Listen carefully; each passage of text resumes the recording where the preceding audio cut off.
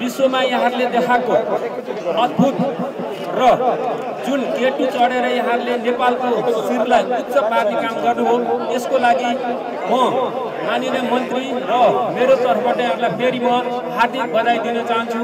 नेपाल सरकारको तर्फबाट यहाँलाई फेरि म एकचोटि आभार व्यक्त गर्न चाहन्छु।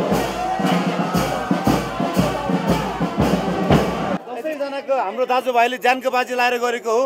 त्यसले गर्दाखेरि चाहिँ हाम्रो विचारमा चाहिँ we feel like it has to be justice for every team members also अहिले हाम्रो in the world there is so much going on with the pandemic with the global warming and everything, we wanted to show the world a very clear message that if we unite, we can make the impossible possible. And everybody did, did the same thing.